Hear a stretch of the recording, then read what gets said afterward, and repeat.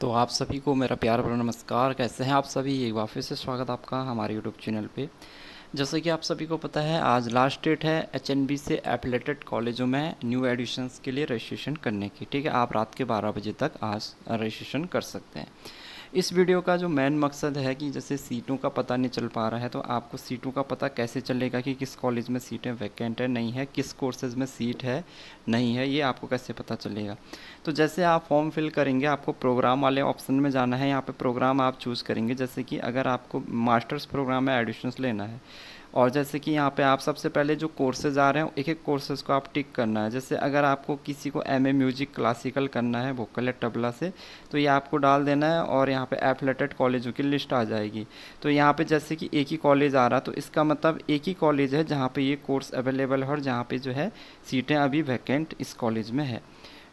ठीक है, अब जैसे कि हमने तो ये ये वाले, इस वाले के लिए हमने ये देखा। अब हम जैसे दूसरे कोर्सेज में जाते हैं, जैसे कि हमें M A drawing and painting करना है तो यहाँ पे कॉलेज की लिस्ट पे जाएँगे। तो यहाँ पे M K P P G college Dehradun का नाम आ रहा है। इसका मतलब क्या है कि M K P P G college Dehradun में अभी सीट जो है, इस कोर्सेज में खाली है। आप यहाँ पे अप्लाई कर सकते हैं। उसके बाद एम ए इकोनॉमिक्स में अगर हम जाते हैं तो एम ए इकोनॉमिक्स में जाएँगे तो बहुत सारे कॉलेज आपको यहाँ पे दिख रहे हैं। M P G college Mussoorie D B S college M K P P G college H G R R P G college D A B P G college B S M P G college ये सभी जो है government college है, इनकी list यहाँ पे आ रही इन कॉलेजों में अभी भी जो है एमए इकोनॉमिक्स में सीट खाली है, आप यहाँ पे अपना रजिस्ट्रेशन कर सकते हैं, ठीक है?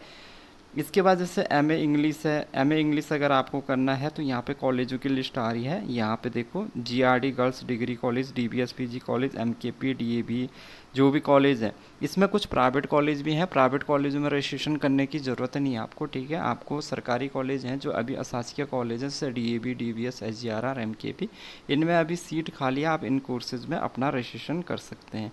तो ये आप यहाँ पे आसानी से पता कर सकते हैं कि किस कॉलेज में, देखो जैसे अगर मैं यहाँ पर एक और कोर्स एम ए सोशोलॉजी डालता हूँ, ठीक है?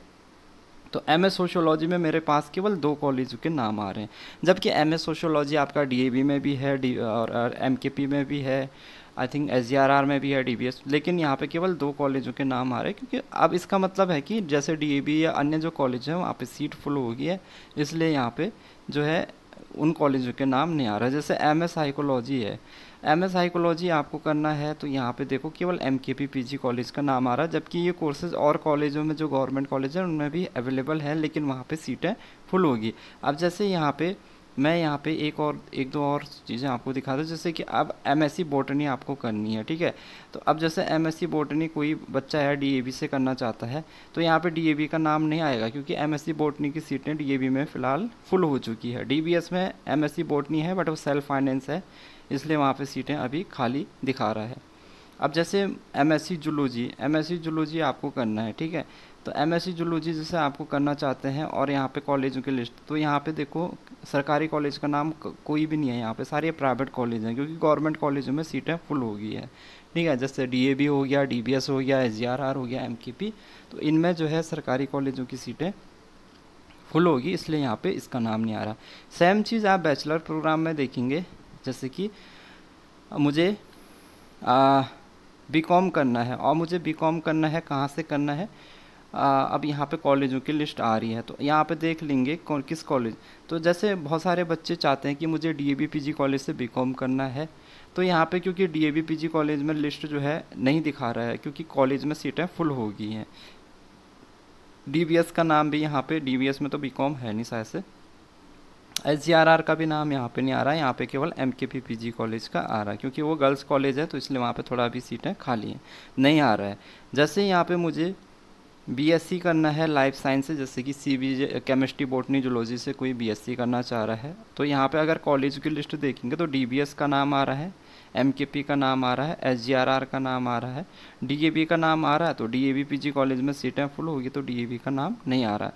तो ये एक तरीका मैंने बताया कि आपको कहाँ पे सीटें वैकेंट है, ये आपको क्लियर ही यहाँ पे पता चल रहा है।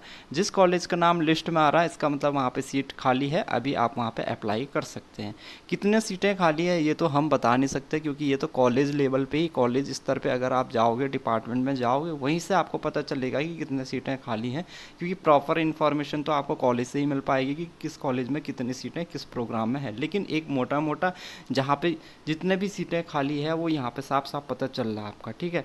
अब जैसे कुछ बच्चे जैसे पीजी डिप्लोमा प्रोग्राम्स में करना चाहते हैं पीजी डिप्लोमा प्रोग्राम्स में यहाँ पे जैसे हमारे पास खाली तीन प्रोग्राम आ रहे, PG diploma, journalism, mass communication, nutrition and dietetics और पीजी डिप्लोमा इन तो ये सारे के सारे जितने भी तीन कोर्सेज हैं प्राइवेट कॉलेजों में है। तो प्राइवेट कॉलेजों में तो आपको एडमिशन्स लेने की ज़रूरत नहीं है। ठीक है? वो तब कहे कि अगर आपको भाई करना ही करना है, वो कोर्स तो आप कर सकते हैं।